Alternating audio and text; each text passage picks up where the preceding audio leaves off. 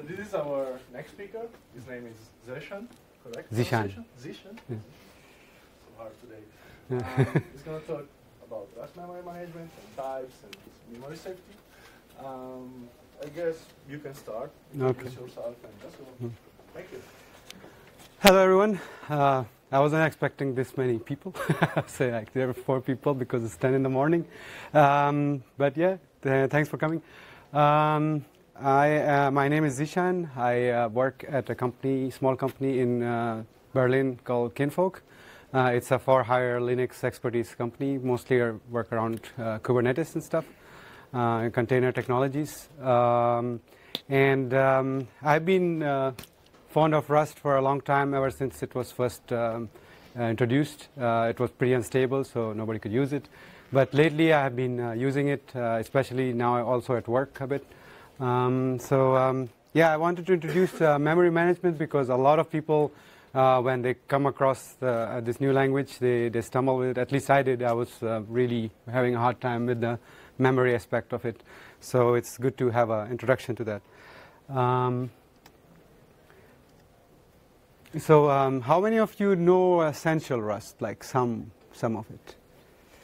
Okay, quite many. So I, I won't get into a lot of details anyway, but I'll just quickly uh, introduce the aspects that I'll use later in the examples. Um, well, mainly it's like a system programming language. So it's there. Um, some programming languages they ensure safety. Some programming languages ensure efficiency. But with Rust, you have both of them at the same time. There, there is the focus on both of these things um, in the design of the language. Um, so it makes it a really, really awesome language, uh, in my opinion. And um, you have a co- concept of zero-cost abstractions. Um, so everything you code in, in Rust, um, you, it will be have equ- equivalent um, um, performance as it if you write it in C or C++. Uh, actually, uh, Sebastian, he's in the queue outside, I think. Um, he's not here, right? Um, he's uh, working on GStreamer. Uh, he's writing GStreamer uh, plugins and elements in, in Rust. And he actually saved uh, a lot of uh, CPU. He um, made it uh, made the code uh, perform much better because in Rust you can you can achieve it more easily um, because of the zero cost abstractions that we have in Rust. Um, it has a non-mutable state by default. Uh, so if you want to uh, mark something as um, mutable, you have to use a keyword. So when you have a problem in your code base, so you can you know which uh, variables and which parameters to to look for. Uh, because if it's a non-mutable state, you it won't give you any problem because it doesn't change. So why would it uh, uh, create a problem? Uh, so it's a mut- um, mutable state that you need to look for, and that's why it's uh, by default you have everything non-mutable. Um, and it has strict ownership semantics. Um, in C and C++, you usually uh, just give a pointer to someone, and then uh, you have to establish some sort of uh, way to um, make sure that nobody double frees it, or um, especially in C, we have like, uh, uh, we have been using in GNOME uh, GLib libraries for uh, reference counting all objects. So um, you have to handle that manually in C, of course. But in um, Rust, you don't have to do that manually. Uh, but you have to think about how ownership works. And um, at one time, there can be only one owner uh, to a resource. Um, I'll, I'll show you uh, examples later, how that is. Um, so we will start with a simple example. Um, in an other in other um, programming languages, something like this, um, you're passing an array vector to uh, to a function, and it's just adding two first two elements of that and returning it. And in many languages, this would just work fine, but um, uh, you add that uh, and then you show it, it's fine. But um, in Rust, this won't work because um, when you, as it says, um, when you passed the vector there, you pass the ownership to that function, and you never get got that ownership back. So later on, you can't use the the, the resource that you already passed to it because you gave it the ownership. And the main thing is there are two kinds of uh, types in, in Rust. Uh, there's copy types and then there's move types. Um, by copy types, there is um, the um, simple types in, in Rust, for example, integers and booleans and those kind that uh, can be passed around like as copies without any performance problems, um, easily copied. Uh, those always get copied. So when you pass it to a function, if in the in the example, if I was passing integers directly, that example would have worked because it's a copy type. Um, but uh, move types, um, which are most of the types uh, by default, if you create your own data type, it will be by default a move type. Um, and by move, I don't mean uh, the whole thing moving, but moving of ownership. So you give the ownership to someone else when you pass it to them, if you pass by, by value, and you can't use it anymore. Um, and that's, as I said, uh, in Rust, uh, by default, everything has only and only one, um, every resource has only one owner at a time in the code. Um, so it's very clear, and it uh, then Rust knows when, when to free the resource and when not to. But the thing is, you can't you can't work like that. You have to, you know, have multiple ownership um, owners and stuff. And one of the first ways to do it, and one of the most obvious and most used is uh, borrowing, uh, which is like in C++ and C pass by reference, more like C++. Um, so the same example, we just turned the parameter into a reference. Um, so when you pass it by reference, you are um, borrowing the ownership of that resource to that function you're calling temporarily. And once that scope in which it's borrowed, that's over, then the borrowing is finished and you have the, your resource back. Um, but if I had kept the ownership, if I, for example, if I had set ampersand v and then assign it to a local variable, it has the same scope as v then, and then I could not have used it while it's still borrowed. So while it's borrowed, you cannot use it, but once the borrowing is finished, which is based on scopes. Um, and the scope in this case is the, the, that function that you called. So when it returns, you got the ownership back. Uh, everyone following so far? Or I have 20 minutes to explain this very complicated subject, so I'm trying my best. Um, but the problem with borrows is, as I said, it's temporary. You, you get it back, and uh, the resource that borrowed it, you can't keep it forever. And you don't have the ownership at the same time uh, exactly. Um, so we will, we will start with an example. Um, I fly helicopters, so uh, I, my examples are related to that. Um, so um, you have a registration. Every aircraft has a registration, so it's a simple struct. And um, I have an implementation for it. It's just a constructor, um, get a registration as a string. Um, this string type is an owned string type, so you, uh, it's, um, it's, there's two string types in Rust. One is the owned, one is not owned. Uh, the non-owned is, the, is a borrow.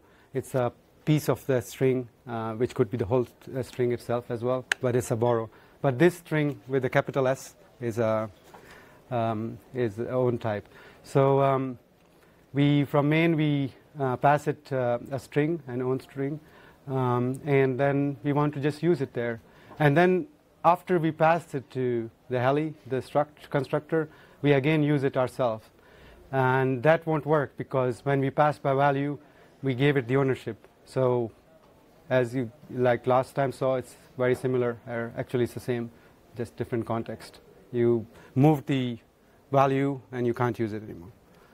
So what would we do in this case? The, the, the easiest solution is to use a data type called RC um, uh, which is abbreviation for reference counting. Um, and what it does, it's a container type, which um, you you put something in it, and it adds reference counting to that resource. Um, so the resource itself, you don't need to copy it around if you want to pass it around and have multiple owners in the in the same code of the same resource. And instead, you just use RC. And what it does is like each time you create a new user for it, um, you increase the reference count on, on that resource, uh, contained resource.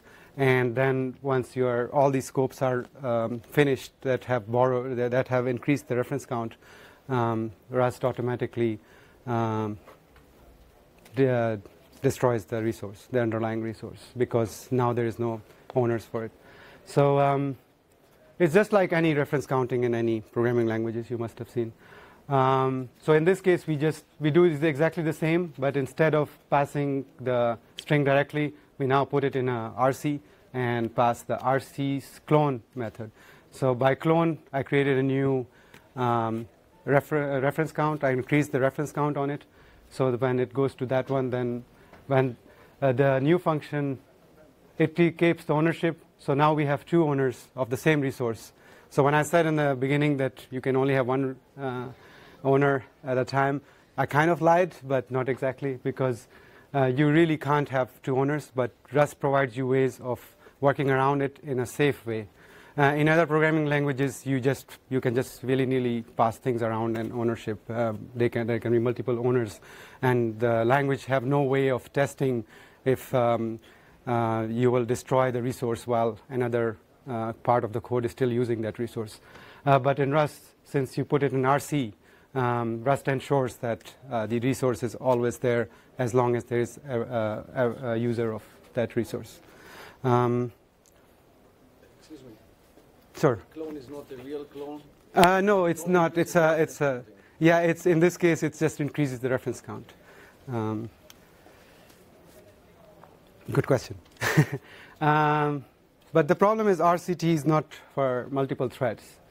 Um, if I run this, for example, now I introduce. It's the same example as previously, almost, except this time I have added a method and I'm calling that method from uh, another thread.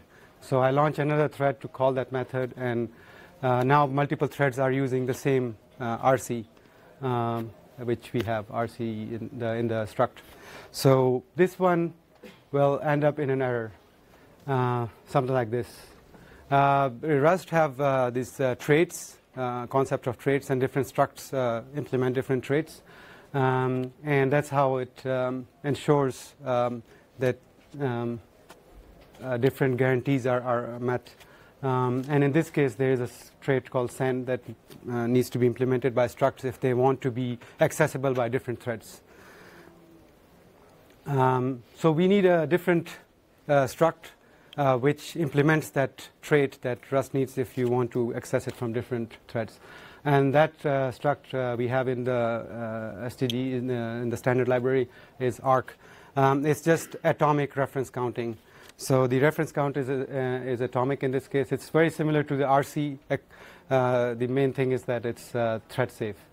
So instead of RC, I, I, use arc. And the same example, like same code, will, will just work. Um, yeah.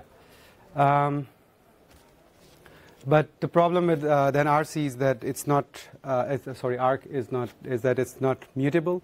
Um, so you can't like get a resource out of it and then modify it.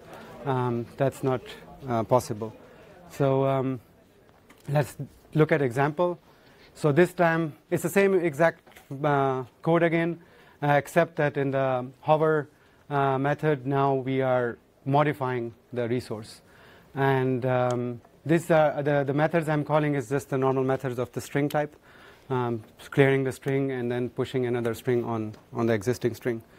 Um, but this, this won't work because I'm modifying it. Um, and the main thing is I can't borrow it as mutable because it's not a mutable resource. I didn't mark it as one either. So for those things, you need yet another uh, data structure called mutex. Um, which is just like a mutex in uh, uh, any programming languages and libraries. Uh, you get locks on the resource. Um, so we put arc uh, mutex in an arc because we want to access it from multiple threads atomic with atomic reference counting. So the arc is adding atomic reference counting, and then the mutex is ensuring that you can um, have mutable locks on, on the resource. Um, so you have multiple container types. You you will see that in sometimes in Rust you, you need to have multiple containers uh, to the same resource. Uh, but the thing is you have uh, type aliasing, so you can use that to create a new type for your complex type very, very easily. And that's just an alias, so it makes things pretty easy uh, to follow. Um, anyway, so this time you just uh, use uh, mutex. You um, you create like when you created the arc, you in, in there you just do a new mutex and put the resource in the mutex. Uh, but in the hover, uh, you need a you, you take a lock of the um, of the from the mutex, Um, and when you access the mutex, it's, since it's uh, contained in ARC, you uh, you get an atomic reference. So you um, uh, it's thread safe. Um, and once you get the the lock, you then you can do whatever you want because you have gotten yourself a mutable reference to the to the resource. Um, and then uh, the thing is that um, Rust is very much the memory management is very much based on scopes. So once you uh, are out of that scope, which is the hover method, uh, the lock that you acquired will be freed automatically for you, so you don't have to uh, free it. If you want to, uh, as far as I know, there is an unlock method, um, but you, usually you don't need to. You just um, use scopes to to, to um, signal like that. Okay, I'm done with the with the lock.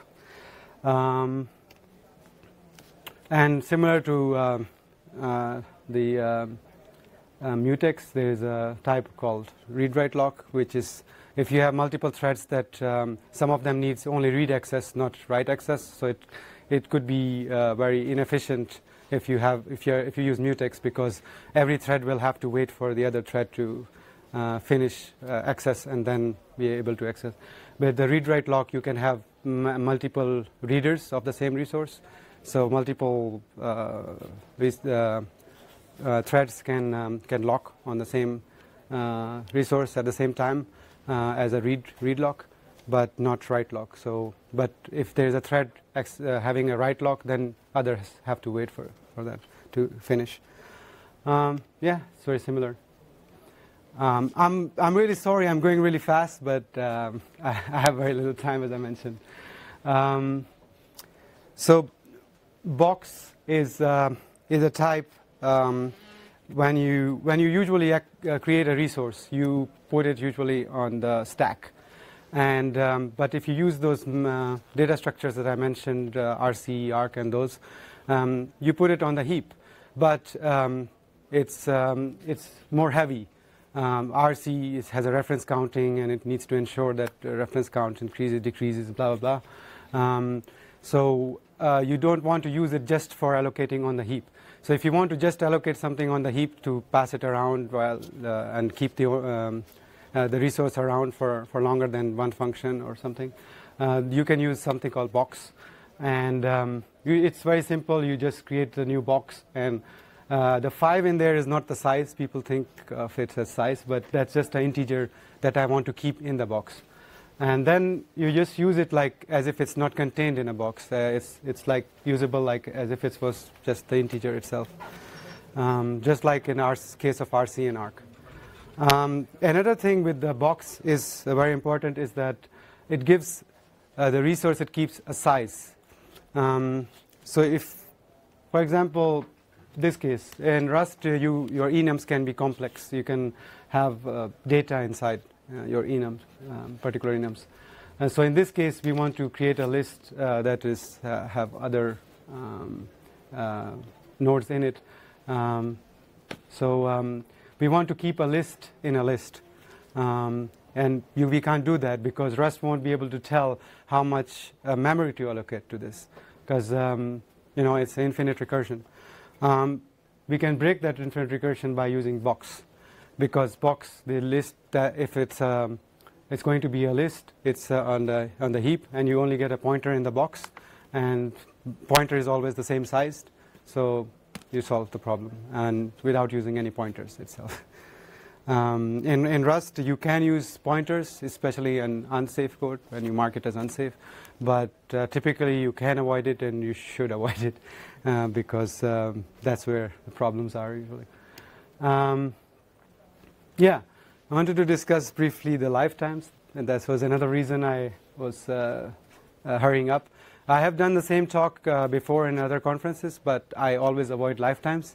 So this is my first time addressing it. I hope I can uh, do some justice to it because it's uh, uh, people are afraid of it. Um, so as I mentioned, you can you can pass things by reference, and references are um, temporary, um, and they, the scopes define the lifetimes of things. Um, so in this case, you get two strings uh, in the longest function. It just returns the longest string you have. I'm sorry, I have my pointer here. And um, so this should work, right? Because you just pass the references, you get the reference to the longest string, and yeah. Um, but it wouldn't work because um, Rust doesn't know when, and you get uh, helpful, very helpful messages uh, nowadays from, from Rust compiler. So that's that's really cool. Um, so you borrowed a value and then you return a reference to one of the borrowed values, and Rust doesn't know. Well, it can easily can't easily tell which which one it is, and you have multiple uh, in parameters and one out parameter. So in in this case, uh, you have to uh, tell it um, how long would the reference that you're returning um, have to be kept alive and what other resources it is uh, associated with. So it keeps them both alive um, uh, long enough. Um, so we can, I know the, the syntax of uh, lifetimes is, is a bit, uh, takes a while to get used to. And even when you get used to it, you still hate it. but uh, that's how it is. I don't, I have no better suggestions, so I, I don't criticize much. Uh, but I know that it's, it seems really, really weird. Um, so you, you declare in the function definition a, a lifetime. Uh, it's an abstract concept of the lifetime. So, and you declared that all the all the resources uh, that you're using, like the uh, in, input parameters and the return value, have the same exact lifetime, um, which means to tell to compiler, Rust compiler, that um, if you uh, if a S1, S2, and, and, the return value needs to be kept alive together.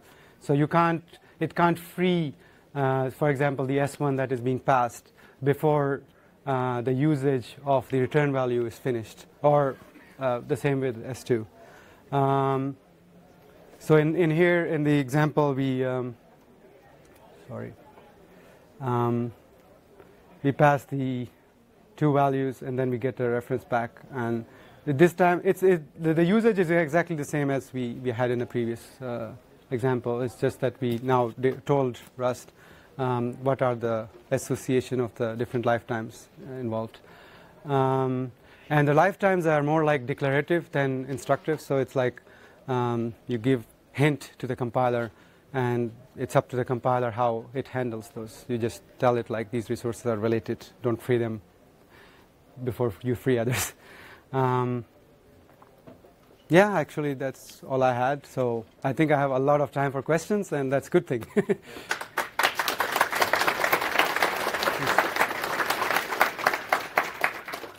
okay.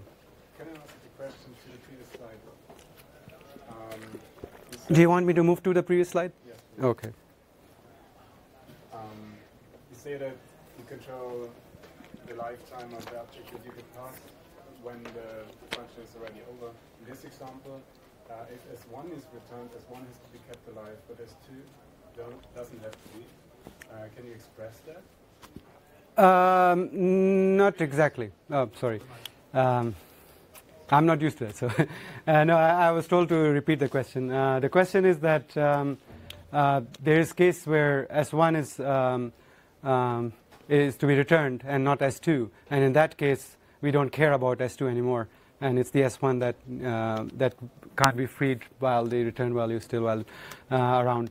Um, that's true, um, but it's very hard for compiler to um, to uh, find these out. One thing I did not mention is that um, in Rust you have something called lifetime elision. Like the one of the uh, code that you saw earlier, where um, I was using references, but you noticed that there was no uh, lifetimes involved there. And the reason was that lifetimes are always there, except that in many cases, uh, at least the simple cases, Rust is smart enough to detect, okay, the compiler, and it declares them for you in the code, so you don't have to care for them. But it's like a bit complicated uh, um, examples like these, then you will start to, when you have multiple references being passed, and then you have uh, return as a reference as well, then Rust will get, uh, would not know how to handle that. Because it, it can handle it on its own, um, but uh, not through the lifetime syntax. It's like because it's more dynamic. Like we don't know which one, the which uh, string that will be passed is uh, is going to be longest. So it's it's more like a dynamic decision, and Rust does all all things statically. So it needs to um, it needs to do it this way. But if you can't express that one of them has to stay alive and the other one doesn't have to, if you can't express that, then the compiler might just as well keep alive every parameter always. No, you, you, you can have multiple lifetimes. That's true. But um, in this case, you, you need both of them because you don't know uh, before uh, you know which parameters will be passed. Because it's more dynamic thing. Like um, you don't know when you're compiling just that function. Uh, let's say in a library, um, and it will be used uh, by people you don't know, and you don't know what will be passed. So uh, it will you will only know dynamically which uh, which case would it be. So that's why it's it's not possible. No other questions? How do you specify different lifetimes? Do you use a different method in the day? Um, you uh, put like in, in there in this example you uh, you have like uh, uh, lifetime A you just put a comma lifetime B so you can declare multiple and then you can use them like the same as the I'm using A lifetime uh, sorry the, the question was uh, if I can have multiple uh, lifetimes uh, in there and that's what I answered uh, sorry uh, who was that? Uh, is the lifetime part of the reference type, reference types type? Is it considered part of the type? Uh, the question is if the lifetime is part of the reference type. Uh, not exactly, um, but it's always there. Like when you pass uh, things by reference, um, the life there's a lifetime involved. It it just the, the difference is whether you, you declare you have to declare it or not. So it's separate. separate Yeah. Uh, actually, it's implemented through something called generics in, in, in Rust. Um, if you look into generics, uh, you will see that the uh, syntax of declaring them exactly exactly the same, and that's how it's implemented. Uh, you might want to read up on that. It's it's pretty interesting stuff how lifetimes are implemented. And uh, last question. In multi-threaded code, uh, is it possible to have uh, functions that uh, override each other's lifetimes? So we have an object that, uh, well, not override, that they have some kind of uh, collision. So one function accessing the same resource. So that the the question is, if I understood correctly, is that if the in multi-threaded application, is it possible for one thread to override the other? yeah, is, Uh, resource of others. Is there a risk of one function No. messing with the lifetimes of the object? No, no. Life, you you can't really mess up with lifetime. No. No. Okay. Uh, are you sure? Yeah, Okay. no worries. Thank you very much. yeah, no worries. Thank you.